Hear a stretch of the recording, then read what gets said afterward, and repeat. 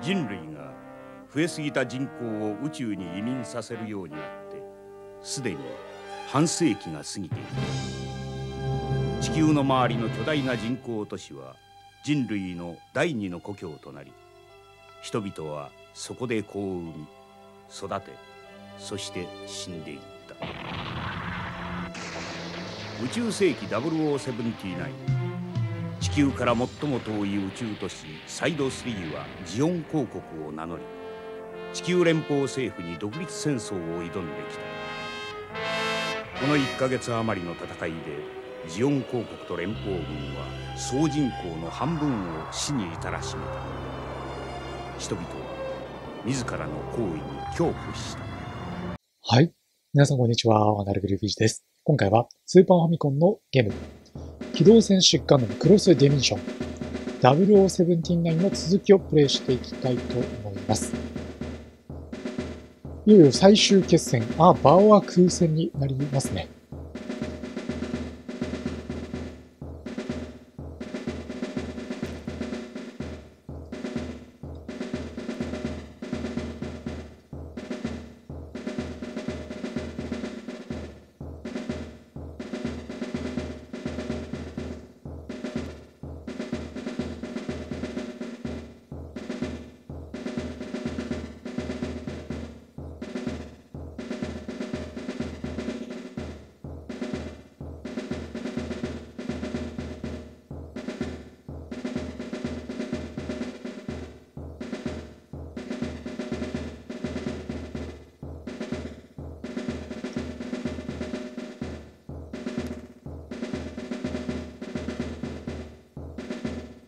はい。というわけで、装備の確認をして出撃していきたいと思います。実はですね、え、レベルをこの後上げてから出撃しようと思いますので、一旦この、え、装備確認画面はスキップして先に進んじゃいます。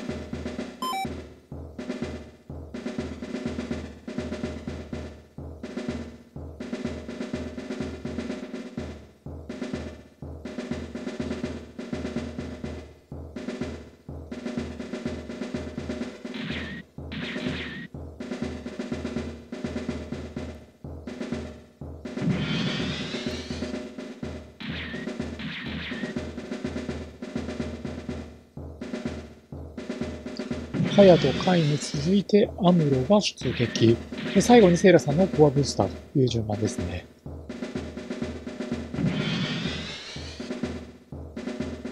まあ、現状ですね、ハヤトがレベルが、まあ、だいぶ低くて、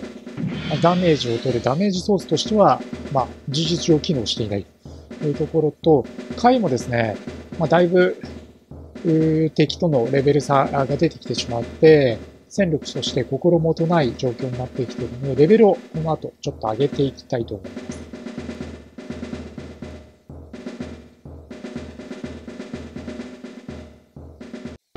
はい。では、レベルを上げて戻ってきました。まず、アムロですが、レベル23まで上げています。まあ、1ですけども、この1が結構大きくてですね、えまだアイテムの所持数を増やしています。マガジンが2つとエネルギーパック2つえー、アタックとディフェンスのパラメータはマックスまで上げてあります。で、続いて、回ですけども、回もですね、アイテムは5つにしてあります。マガジンが4。まあ、特にですね、ガンキャノン、まあ、カイとハヤトのガンキャノンなんですけども、マガジン、まあ、つまりビームライフルが撃てなくなると、かなり戦力的にダウンするので、えー、ハヤトも同じくですね、アイテム数は5にして、マガジンが4、エネルギーパック1という編成にしてあります。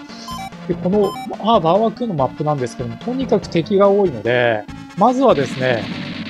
ガンキャノン、ハヤトとカイで、できるだけ敵を削って、えアムロのガンダムは温存するという作戦でいきたいと思います。で敵を突き放す、まあ、グレートショットみたいなものが受けるようになってるんですけども、弾をかなり消費するので、まあ、それはあまり使わずにですね、まあ、あくまでもピンポイントショットで敵を削っていきます。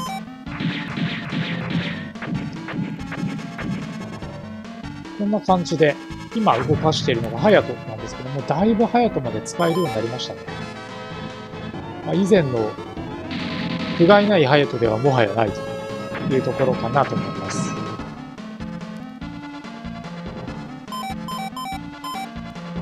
まずはハヤトが死ぬところまで、もうちょっと前に進んでいかないとダメかな。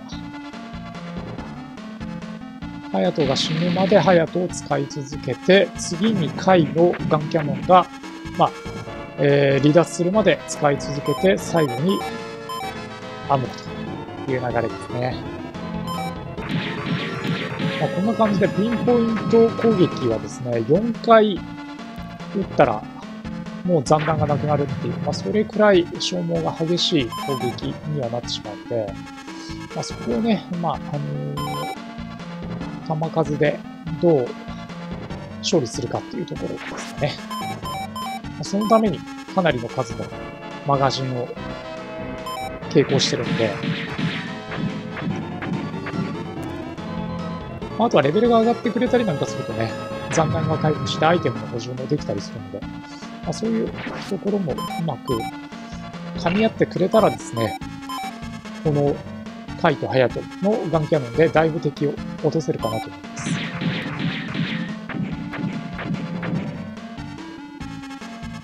はい。では、この要領で、えまずはハヤトを使って敵を、え削っていきたいと思います。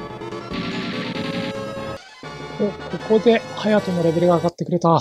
ハヤトの方が先にレベル20に到達しましたね。ちょっと格闘戦でだいぶ削られてるので、まあ、ここは、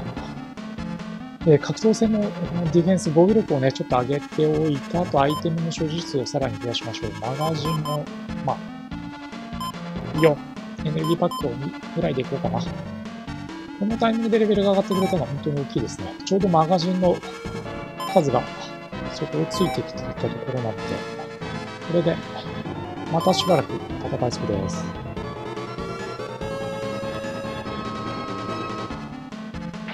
こんな感じでね、必ず敵の格闘を受けてしまうシーンというのが、ガンキャノンだと出てきて、その反撃でピンポント攻撃を行って、さらに攻防が続いていくっていうことになるので、まあ、ある程度ダメージも取られるし、あとはビームライフルの弾も消費するっていうのがあるので、アイテムはですね、かなり重要かなと、えー、プレイしてきて感じています。なので、パラメータの割り振りもアイテムをね、ちょっと多めにというところにしたいですね。で、あとはですね、ピンポイント攻撃で落とせなかった敵は、バルカンも一発撃てばですね、倒せるようなケースが多いので、ビームライフルの残弾を節約するという意味では、今みたいな戦い方もありなのかなと思います。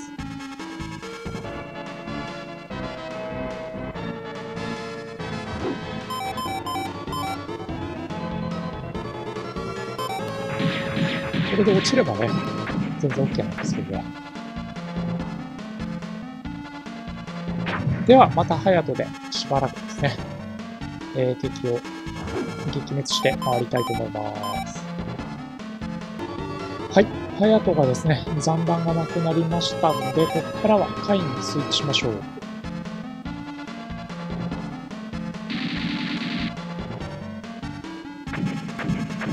まあ、だいぶ、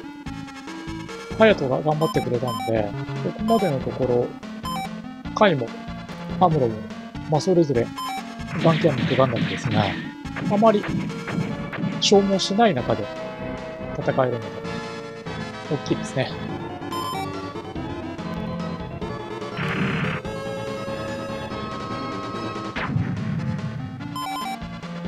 では、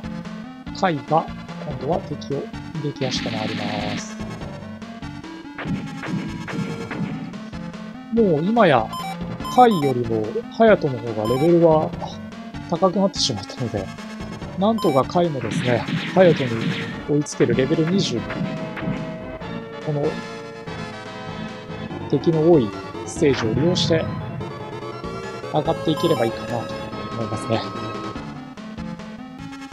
やられた回をここで失ってしまった。ちょっとアイテムを温存しすぎて、回が早々にやられてしまいましたね。残念。そしたらここからはアムロを使っていきます。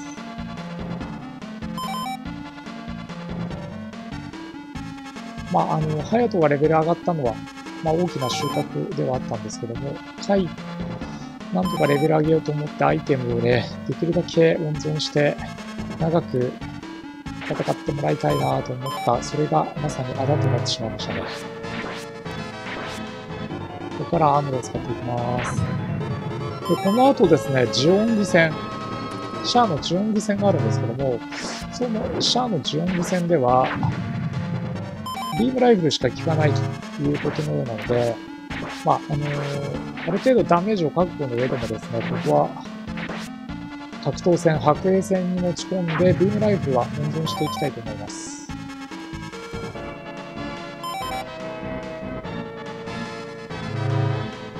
必ずね、反撃を受けるので、少しダメージを受けやすくはなってしまうんですけども、まあ、それでもなお、ビームライフの残弾の方が大事ということですね。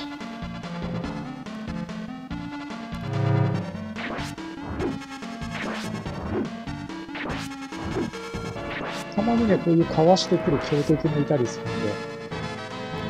そうするとね、結構持っていかれるんですよね。まあ、回は誤算でしたけど、隼人がその分、だいぶ大活躍してくれたので、まあ OK かなと。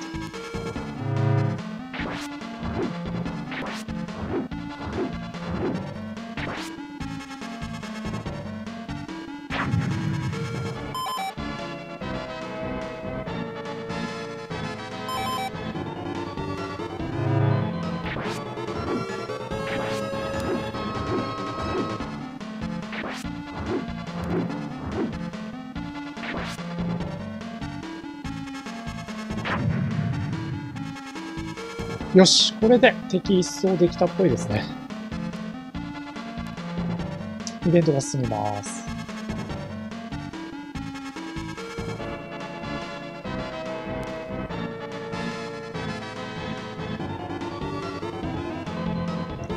アイテムは十分に残してあります。まあ、使わずに来れたっていうところですね。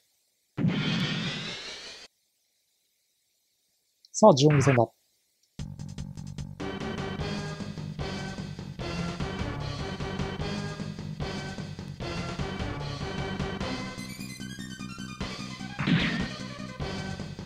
ちょっと待ってくれ。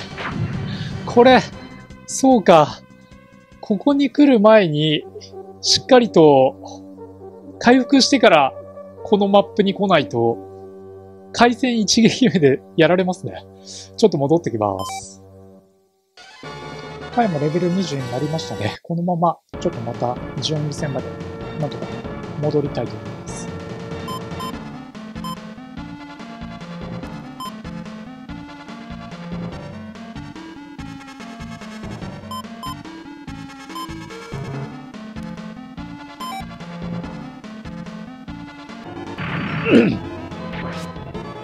回がここでやられましたね。そしたら、えー、ハヤトにスイッチします。ででは、ハヤトのガンキャノン完全に弾切れになってしまいましたので、またここからアムロにスイッチしていきましょう。ある程度ダメージが蓄積してきたら早めに回復するっていうのはね、ちょっと心がけていきたいと思います。さっきはね、えー、意図せずして次のマップというかね、えー、シャアのジオング戦に入ってしまって、先制攻撃一撃死ということで何もできずに終わってしまったので、まあ、同じ鉄は踏まないぞというところで、まあ、どうだろう、500、400を切ったらもう回復するぐらいの、えー、気持ちでね、え進めていければいいのかなと思います。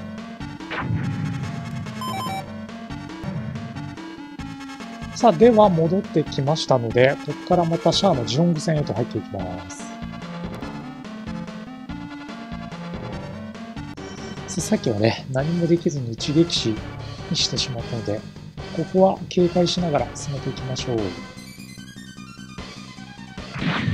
まずはミスショットを待ってくれたらいいかな。で、アーム、優先アーム攻撃ですね。8。かける4。まあ、40から50ぐらいを2回連続で食らうのか。結構ダメージ食らうな。まあ、668あれば大丈夫でしょう。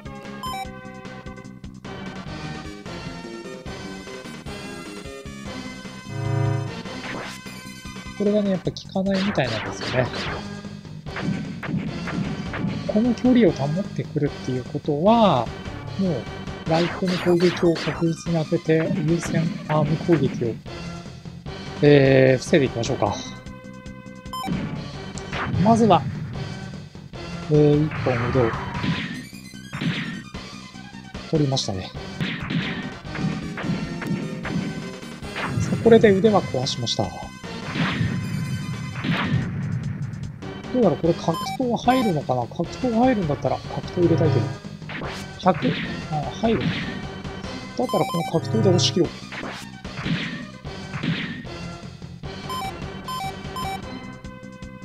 クロスレンジアタックだ。食らえ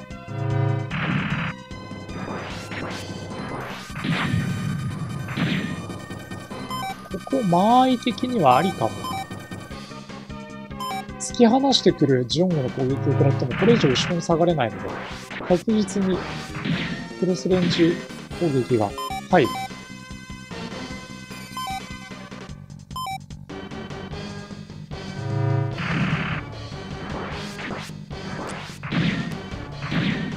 160マックスで食らうみたいなんで、ちょっと怖いので回復しちゃおう。で、これが最後か。で、ちなみにピンポイント攻撃だとどんくらい攻撃が入るかもちょっと見ましょうか。どっちの方が効率がいいのかっていうところだと思うんですけど。あー、どっちもどっちだな。大した変わんないかな。こ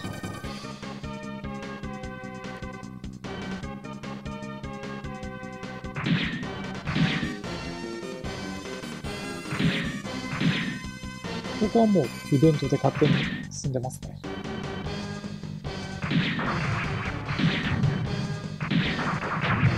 ジュングヘッドになった。そしてガンダムもメインカメラの頭部を破壊された。これでこのステージ攻略ですかね。